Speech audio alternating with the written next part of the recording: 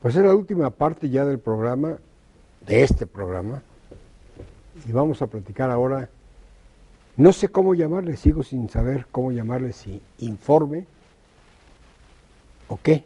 Diálogo, ¿no? Es un diálogo con quién. ¿Un infocomercial sería? Puede ser. No, sí. Infomercial. Hay, hay nombres gringos que le quedan, ¿eh? o sea, no es algo que inventaron ellos. Existe ese, en- desde el punto de vista de comunicación y difusión, ese formato existe, pero no para sustituir Pero no para un al informe. ¿sí? No, no, sí, claro. Y no en este momento. Digo, es que siempre andan en fuera ese de momento tiempo. tenía que quedar el, el ir justamente ante senadores, ante diputados, no con Pero un... ¿quién ha dado motivo a que no vaya el presidente? Los mismos senadores, Los mismos diputados. Claro, eh, que desde esa su es una posición, vergüenza nacional. Yo estoy de acuerdo que no vaya al Congreso A que le a que lo insulte. insulten. Va, con la situación que se ha, se ha Eh, visto los esa es la últimos vergüenza, años. sí. o sea, que no estén dadas las condiciones para que pueda tomar la tribuna del Congreso el presidente de la República cuentas y que lo dejen hablar. Porque Sí, sin, sin, pues digo, sin caray. estar él, como se armó todo el show Hasta golpes el jueves, hubo. ¿no? O sea, Bueno, total, llegó, llegó a este show que se hizo con 300 jóvenes, que, abierta la mesa Cuidadosamente seleccionados con preguntas muy armadas. Por cierto que hubo tres hidalguenses que les dieron la palabra, ¿eh? Sí. Bueno, Sí. salió el papelito. Uno de Tula, uno de San Agustín Tlaxiaca y uno de Pachuca. Uno, uno de Pachuca, uno de Tula y uno de San Agustín San Tlaxiaca. Agustín Tlaxiaca. Y uno de la Huasteca. me dice. Esa es discriminación para nosotros. No, pero a ver, muy bien, o sea, una escenografía cuidada, se busca gente premiada, o sea, gente que recibe al presidente, y luego la jovencita que le dice, gracias a usted tenemos todo, pues ya mató el programa. Y el porque- primero. Y fue la primera. Fue la Fue primera. la primera. Caray, este, Pero es un problema de la gente que De la colabora. logística. Sí, de la logística. Alguien Claro. le dijo que cuando te toquen te vas a decir esto. O sea, los que quieren quedar bien con el presidente le hacen daño. Alguien le dijo que hiciera eso. Ahora, sí se tocaron temas que son difíciles para el presidente, pero la respuesta estuvo pasó bien. de ahí. No pasó de ahí. O sea, no, no, no dejó mal. Pero sí se tocaron los temas. Caímos en el mismo problema grave que tiene, de que contesta muy farragoso, enredoso, le da la vuelta, regresa y para acá, que ese es un problema grave en la comunicación. Tiene una comunicación muy acartonada. Otro mensaje fue que el señor, durante la hora y media que duró el programa este, habló de corrido, no traía este teleprompter, ¿eh? Entonces ya sus adversarios políticos, que son muchos, pues ya no pueden echarle la culpa de que todo lo hace con el teleprompter. Un dictador. Entonces, hoy ya Y es que fue- habló y dijo. Claro, el formato fue muy acartonado, le pudieron haber el sacado, moderador. le pudieron haber sacado más, más Chabot, pero jugo, no, hombre. O sea, yo ¿Quién hubiera es el moderador, eh? Es es, es Chabot, el Chabot, Pero fue muy... No. de radio. Ujú, Es- sí, es- es tiene, abusado, tiene la experiencia, ¿va? abusado, Pero como es que, decente, como que, MBS, que ¿no? en, el, es en muy la decente, se vio muy... sí, este, es muy decente, pero pues debió haber Sí, como que no era para ese momento. poner sabor, ¿no? Las preguntas que sacaron las leyeron mal porque se vieron leídas. Bueno, Lo es único que que- faltó que Ahora, pusieran. a, mí se me ocurriría, pero la primera consideración para los asistentes, ¿por qué aplauden a cada cosa Claro. que dicen? Sí, yo también. Ese eso es un- lo- O sea, Error del formato. Convierte esto como en En un, un programa. Claro. el de las risas grabadas, Claro. ¿no? O sea, a ver, pero ¿por qué te tengo que Desde aplaudir ahí, a ¿no? todo? Los que Desde ahí. cuestionan normalmente no aplauden. Yo no he visto nunca a un periodista que en una reunión de estos aplauda. Y los diputados, Pues lo dijo el propio presidente de la República no en una aplauden. conferencia de prensa que no aplauden, ¿no? pues claro que no.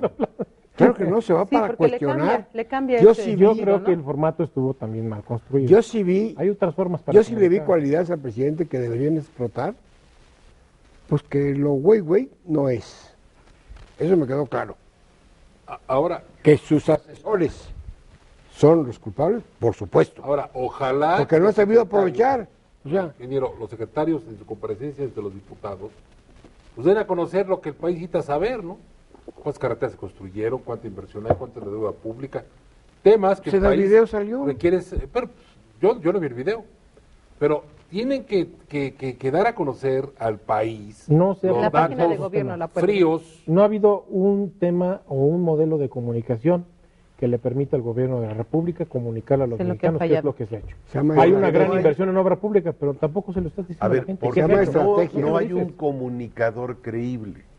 Me pueden reclam- decir la Biblia una gente en la que yo no tengo confianza y dudo que sea el texto. Tendría yo que ir a checar a ver si de veras la Biblia dice eso o no lo dice. O sea, es es fundamental falta- la confianza, la autoridad para que te crean lo que dices. lo que le ha faltado Y es los en lo que no es se ha cuando se va uno, no nada más con el mensaje. Es importante quién es el mensajero. ¿Cómo lo vas a Entonces, transmitir? ¿Cómo lo vas a Y transmitir? todo- ¿cómo ¿A trató? a qué ¿A qué destinatario se lo a estás haciendo llegar? ¿Cómo trató. Denise Merkel al presidente de forma Irrespetuosa. y esa es una majadería. Irrespetuosa. El señor es el presidente de la República. Nos Y yo- guste o no, claro, de acuerdo presidente de no. Estoy totalmente de acuerdo. Le guste o no le guste. Hay que Se puede criticar. Sí, claro. O sea, pero tanto así como una Levantar falta de la respeto. Quitarle la palabra fue muy mal. Y es el programa que- estelar de Televisa. Altisonante las ¿qué sucede? ¿Ya Televisa se está saliendo del. Huacal? Pues quieren regresar a lo- la compra de spots y demás. O sea, volvemos a la debilidad presidencial. Ahí están. Todo el mundo se le quiere ir a la Los yugular. Don El Norberto problema es que faltan dos años, ¿eh? De esta administración. ¿Mande? Faltan dos No, años. no, de ese es el problema. Ese es el gran Tiene problema. que hacer cambios en el gabinete urgentes porque Pero ahora- que Yo- tanto, ¿hasta dónde Yo ya no estoy, yo ya no, yo ya no estoy seguro Que esa que sea la es la solución, ¿eh? no la solución, pero será bueno. A ver, es que, vaya, hay cuestiones. Es una que necesidad, Para sí. que funcionen, tiene que tener una congruencia Sí. y, una, y una credibilidad. O sea, el simple cambio, o sea, de acomodo para acá, ya lo hizo una vez, donde nada más cambió de sillones y todo eso. y. O sea, que no vaya apoyado con una parte atrás. Claro. O sea, cuando, cuando sale el presidente y habla de su voluntad férrea de, de empujar la, la lucha contra la corrupción y demás, a- atrás de ese anuncio tienen que haber una serie de acciones Claro. tangibles donde la gente dice, ah, caray, sí es cierto. Pero si yo digo que me voy a pelear, o, este, que, que- que voy a ir contra la corrupción y, y organizo cuestiones como la de Virgilio y Pero también al presidente le están exigiendo que meta a la cárcel a los gobernadores, a los ex gobernadores Pero corruptos. no le No, no es su papel. No es su papel. Ustedes son abogados, deben...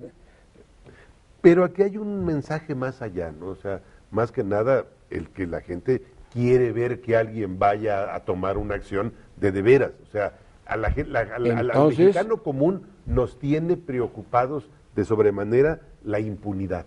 Entonces hay que- hay que- ¿Cuántas veces vemos al servidor público que le encuentran, aparecen las cuentas y curiosamente no pasa nada? O finalmente hay una orden de aprehensión que un amparo le echa para atrás. Entonces, vaya, la gente le dice al presidente, oiga, si los va usted a meter a la cárcel a ver si usted sí puede. Entonces, Entonces, lo bueno, que está afectando Habrá que decir. es que le han golpeado al Estado, al Estado mexicano, con sus tres poderes, y los otros poderes no existen. Vaya, No todas he las instituciones discutir, ¿eh? del país las hemos puesto a dieta y están en condición famélica. O sea, eh, los congresos pues están debilitados terriblemente. Ya no diga a nivel a nivel estados en donde bueno, son el remedo del gobernador. O sea, pueden mover libremente, Sí, sí. o sea, eh, Duarte para salvar un poquito la su, su maltrecho y Ya lo salvó imagen, Juanga. se pegó con, con, con las eh, Donó la casa de gobierno, Ah, la ah, regaló. ya que la usó Los aviones, todo los lo Ya va helicópteros y todo eso para allá. Entonces, ahora, salud. se pliega, se Ah. pliega con la derecha, pro- eh, pro- este, promulgan una ley antiaborto, este, ¿cómo se llama? Para ganar los espacios por ahí. Y en el Congreso nadie dijo nada. En comunicaciones se llama va. instintos de emoción. Quieren llegarle a la gente con la emoción para tapar todas Todas las tarugueces que ha hecho el señor. Antes, Y antes, todos, o cuando sea, el de Veracruz, cuando Gutiérrez Barros era secretario de gobernación o había otro estilo de secretarios, pues un manotazo, por lo menos se caía el gobernador, pedía licencia para afuera y la gente está acostumbrada a ver el manotazo presidencial. Oye, Aquí que lo- el presidente decidió que no va a haber manotazos presidenciales, pues se le sale de control, la gente dice... No, yo te voy a decir Pero algo. sí los dan, sí da sus manotazos. No, sí, que pero- no le hacen caso es otra cosa. yo te voy a no decir- le funcionan. yo te voy a decir algo, ¿eh? licencia para empezar. En la para- época de, ¿Cómo? Gutiérrez Barrios, no te hablaba Gutiérrez Barrios, que era el titular, te hablaba Manlio. Y muchas veces hablaba el secretario de Manlio. Y entonces, con eso era suficiente para que el de la otro Había lado de la línea temblara. Había que algo niveles. andaba. Ahora, también habrá que el- entender Sí, señor. Sí, que, que los efectos de la transición que tuvo el país de a partir del año 2000, que fueron minando eh, la investidura presidencial, yo siento que a partir del año 2000 Sí, claro. comienza a minarse increíblemente la investidura presidencial y comienza a ser pateada la figura, que ahora no podemos, no, no existe una presidencia fuerte que pueda tomar decisiones de esta magnitud como las que platicamos ahora. ¿Por qué? Porque hubo una conducción errática del gobierno durante 12 años, en tanto en la administración de Vicente Fox como de Felipe Calderón, en donde los gobernadores fueron auténticamente virreyes en todo momento.